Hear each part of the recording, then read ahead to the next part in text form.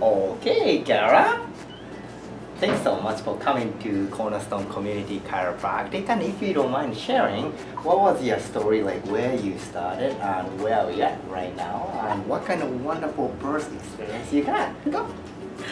Well, when I first started coming to the chiropractor, Mhm. I was having the worst back pains. And it started because um, a few car accidents that we had been in, a few fender benders.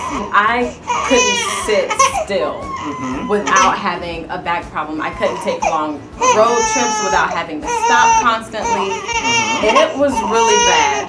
Mhm. So once I finally started coming here, it was actually my husband who had me come here. Everything changed dramatically. Mhm. I'm able to sit and just watch TV, which I couldn't do prior to this because of my back aches. Mhm. I can walk a lot longer. I stand up a lot straighter. I don't have any issues at all, Mhm. which is interesting because you know during birth, you know when you're pregnancy, your back hurts with your stomach pulling you forward, and it kind of weighs you down a bit. But coming here and getting my regular adjustments Mhm. helped tremendously. Mhm. That, along with a little bit of exercise, which I kept doing, of course. Awesome, awesome. How was, what was that birth experience? The birth experience was actually very simple. I only pushed for about 15 minutes before she came right on out, and it was a natural childbirth. Wonderful.